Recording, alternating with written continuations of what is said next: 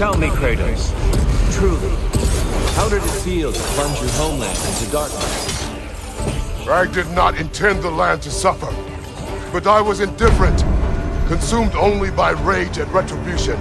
That is not what I asked.